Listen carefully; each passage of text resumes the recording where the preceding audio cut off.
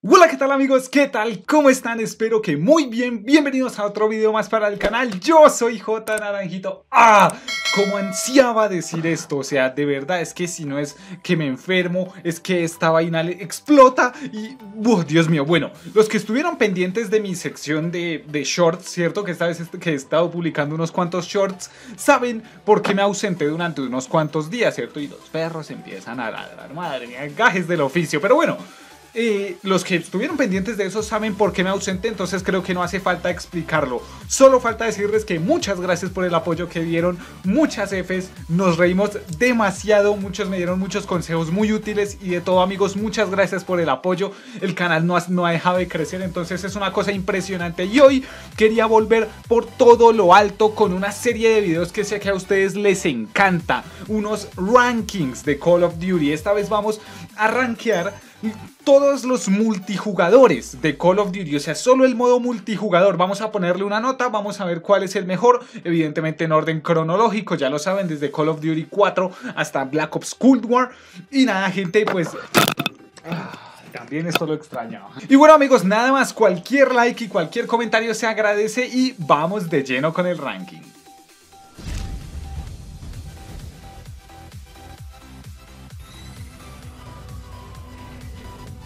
Bueno amigos, empezamos este ranking con el legendario Call of Duty 4, el que para mí definió todo lo que hoy en día es Call of Duty como multijugador. En básicamente todos los aspectos y el ejemplo claro lo vemos en este multijugador, ya que tenemos la fórmula de Call of Duty que se las explicaré llevada al máximo. ¿Cómo es esta fórmula, Naranjito? Para mí la fórmula es sencilla.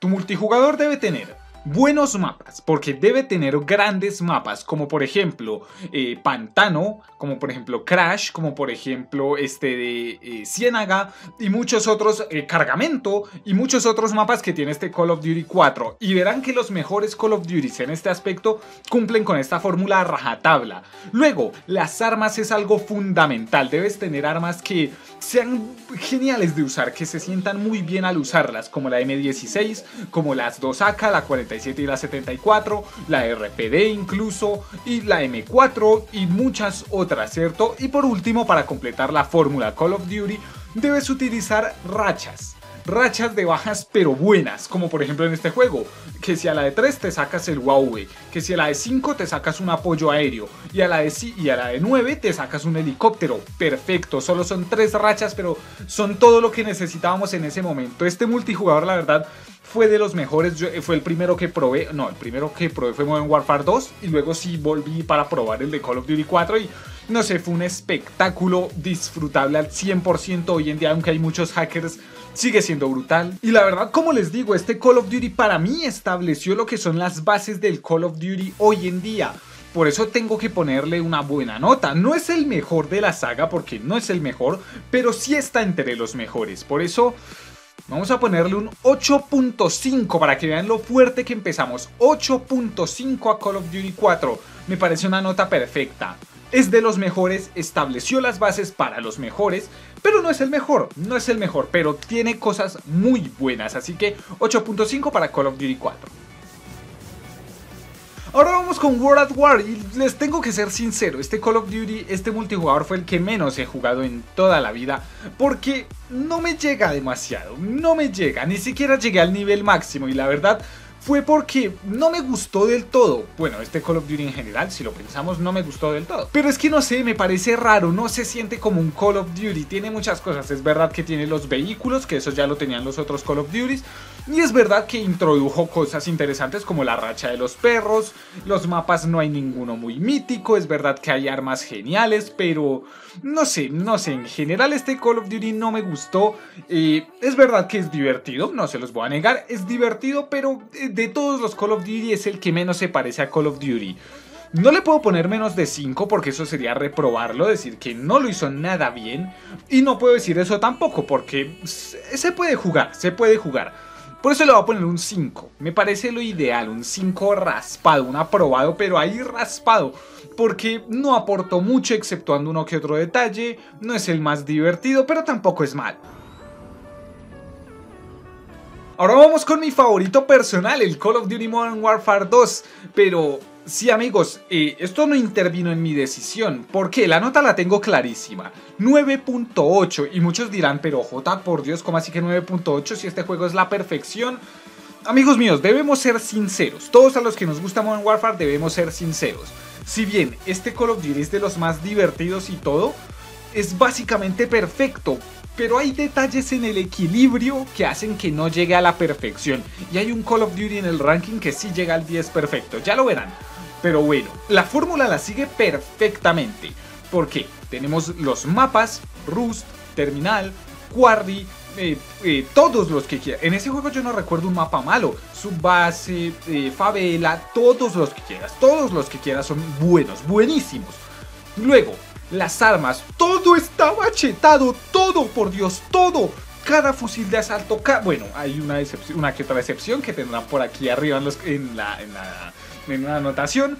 Luego también tenemos eh, mm, todas las pistolas están chetadas, una que otra. Hay muy poquitas excepciones, pero la SPAS, la TAR, la CR, la RPD, la el AK, todo, todo, todo está chetado. Y aquí está el problema. Espérenme, también en rachas tenemos la nuclear, que es una de las cosas más características de Call of Duty hoy en día. Los Harriers, el apoyo helicóptero, el AC-130, todas las rachas están bastante bien. Pero en eso de las armas hay un desequilibrio tremendo, ya que como todo está chetado, todo funciona demasiado bien, incluso las cosas que no deberían, como por ejemplo el sensor de latidos, que es una cosa muy guarra, muy guarra en un multijugador. En Warzone lo veo perfecto, pero en el multijugador me parece innecesario. Luego, también tenemos que si el ojo ciego, que si el fantasma, todas estas cosas, que si comando, comando que te permitía apuñalar gente a más de dos metros, o sea, era una cosa espectacular. Y también armas como eh, lanzagranadas. El lanzagranadas creo que fue lo, lo peor de Modern Warfare 2 pero claro, como todo estaba chetado, entonces pues eso la verdad no sé, no, no permite que el juego llegue a la perfección, por eso se queda en el 9.8, porque esas fallitas en el equilibrio la verdad no dejan que el juego se alce como el mejor multijugador de todos, pero ya lo verán. Ahora vamos con Black Ops 1, hmm, para mí otro gran multijugador, pero no demasiado. Aplicó bien la fórmula, mapas como Nuketown, Fighting Range, mm, Jungle y todos estos otros que están bastante bien. Y la verdad, en cuanto a armas, no defrauda. La Galil, la Comando, la Saka, todo, todo, todo está bastante bien. Rachas, también los perritos, que si el apoyo de helicóptero y todo. El Blackbird, aquí se introdujo el VSAT orbital, que es el Blackbird. Y está bastante bien, pero este Call of Duty está bien, cumple, pero no resalta en nada en cuanto al multijugador, ya hablamos de la campaña. Pero no resalta en nada, la verdad, es aceptable. Y es más, es peor que su, eh, predecesor, que Modern Warfare 2. Por eso, pues le tengo que poner una nota aceptable. Un 7 va a estar bien, un 7, porque la verdad no hizo muchos méritos, no innovó demasiado y los gráficos no estaban del todo bien. Eran mejores los de Warfare 2, por ejemplo. Entonces no me parece nada del otro mundo.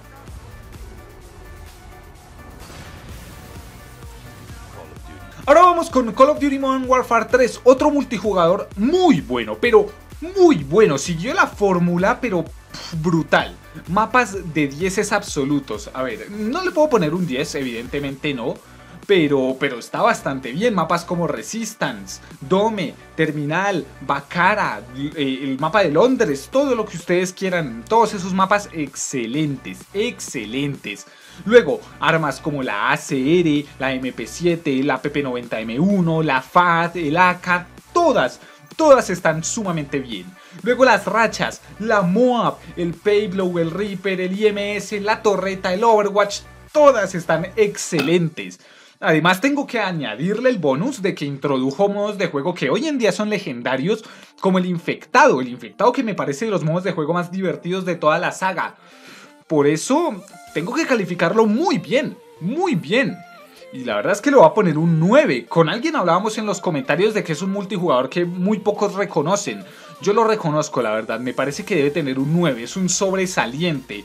No es perfecto porque no lo es. También tenía errores de equilibrio. Pero no era como Warfare 2. No estaba al nivel de Warfare 2 ni en lo bueno ni en lo malo. Entonces le voy a poner un 9. Una nota bastante sobresaliente. Y amigos míos, llegamos a la perfección. Les presento Call of Duty Black Ops 2. El que para mí es el multijugador definitivo, por eso le tengo que poner un 10. A secas. Y me explico. En primera, no hay nada sucio. No tienes un sensor de latidos, el fantasma no está chetado, el, ojo ciego no está chetado, los lanzagranadas no sirven para nada, entonces todo está equilibrado.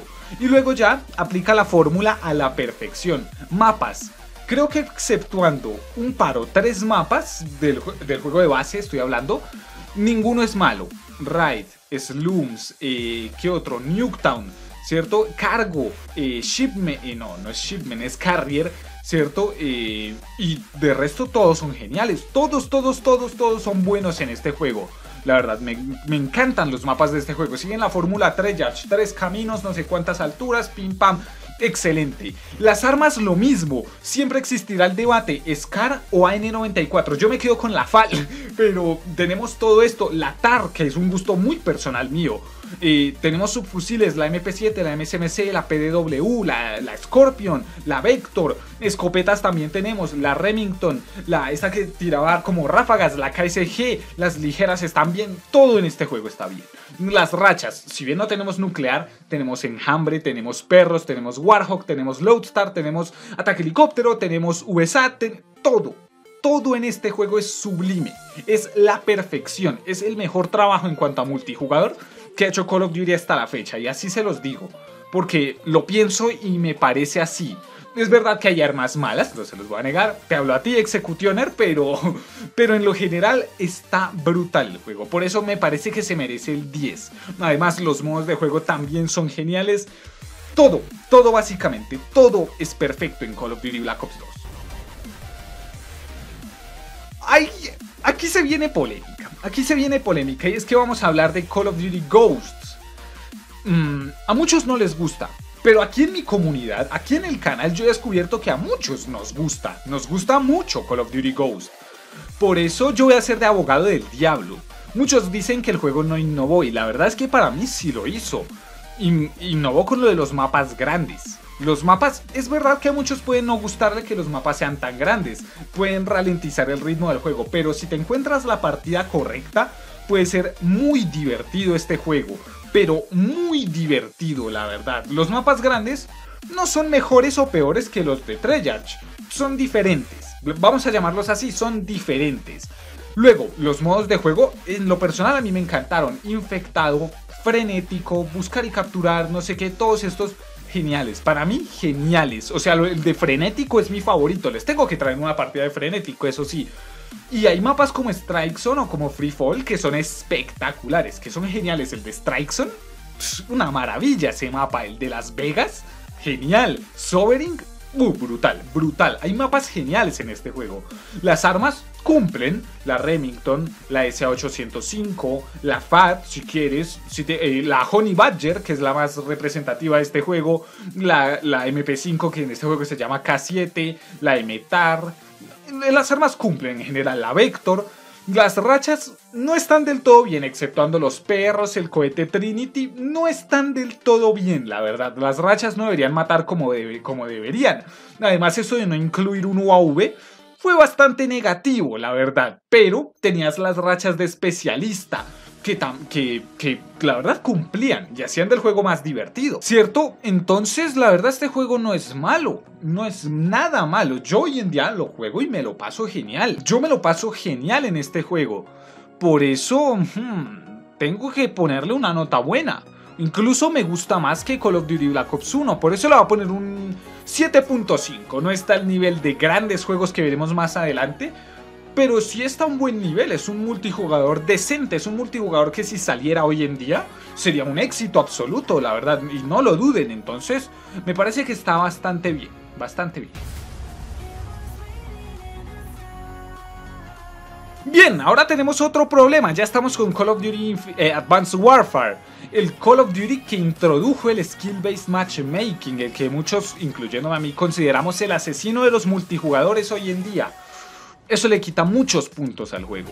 Además, los suministros que básicamente intentaban hacer del juego un pay to win, le quita muchos puntos al juego.